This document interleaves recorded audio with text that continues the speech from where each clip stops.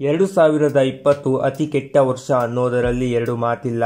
ಈ ಕರೋನಾ ಬಂದಿದ್ದೇ ಬಂದಿದ್ದು. ಎಲ್ಲಿ ನೋಡಿದರೂ ಕೂಡ ಬರೀ ಸಾವೋ ಸಾವು. ಇದರ ನಡುವೆ ಮೇಘನಾಗೆ ಮಗು ಆಗುತ್ತಿರುವುದು ಮೊದಲ ಸಿಹಿ ಸುದ್ದಿ ಅಂತ ಕಾಣಿಸುತ್ತೆ.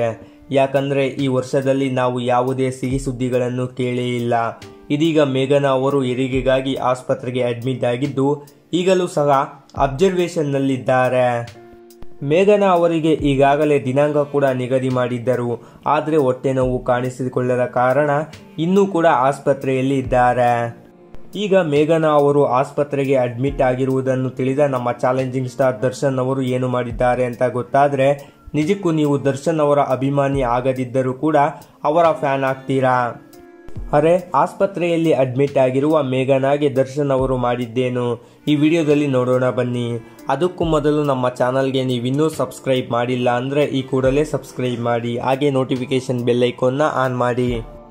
ಹೌದು, ನಿಮ್ಮೆಲ್ಲರಿಗೂ ಗೊತ್ತಿರಬಹುದು, ಚಿರು ಮತ್ತು ದರ್ಶನ್ ಅವರು ತುಂಬಾ ಆತ್ಮೀಯರು. ಮೇಘನಾ ಅವರು ಕೂಡ ದರ್ಶನ್ ಅವರ ಜೊತೆ ಒಂದು ಸಿನಿಮಾದಲ್ಲಿ ಅಭಿನಯಿಸಿದ್ದಾರೆ. ಸರ್ಜಾ ಕುಟುಂಬದ ಜೊತೆ ದರ್ಶನ್ ಅವರ ಬಾಂಧವ್ಯ ತುಂಬಾ ಚೆನ್ನಾಗಿದೆ. ಹೀಗಾಗಿ ದರ್ಶನ್ ಅವರು ಮೇಘನಾ ಅವರ ಶ್ರೀಮಂತ ಶಾಸ್ತ್ರದಲ್ಲಿ ಮುಂಚಿತವಾಗಿ ಉಡುಗೊರೆಯಾಗಿ ತೊಟ್ಟಿಲನ್ನು ಆರ್ಡರ್ ಮಾಡಿದ್ದರು. ಆ ತೊಟ್ಟಿಲು ಇದೀಗ ರೆಡಿಯಾಗಿದ್ದು, ಅದರ ವೆಚ್ಚ ಸುಮಾರು ಒಂದೂವರೆ ಲಕ್ಷ ರೂಪಾಯಿ ಎಂದು ಸಹ ಹೇಳಲಾಗುತ್ತಿದೆ.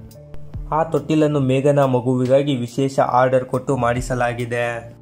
ಇಂತಹ ದರ್ಶನ್ ಅವರು ಮೇಘನ ಅವರು ಆಸ್ಪತ್ರೆಗೆ ಅಡ್ಮಿಟ್ ಆಗುತ್ತಿದ್ದಂತೆ ಆಸ್ಪತ್ರೆಗೆ ಹೋಗಿ ಮೇಘನ ಅವರನ್ನು ವಿಚಾರಿಸಿಕೊಂಡು ಸುಂದರ್ ರಾಜ್ ಹಾಗೂ ಪ್ರಮೀಳಾ ಅವರಿಗೆ ಧೈರ್ಯ ಹೇಳಿದ್ದಾರೆ.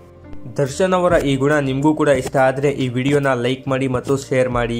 ಹಾಗೆ ನಮ್ಮ ಚಾನಲ್ಗೆ ಫ್ರೀಯಾಗಿ ಸಬ್ಸ್ಕ್ರೈಬ್ ಮಾಡಿ. ನೋಟಿಫಿಕೇಷನ್ಗೆ ಬೆಲ್ಲೈಕೋನ್ನ ಆನ್ ಮಾಡಿ.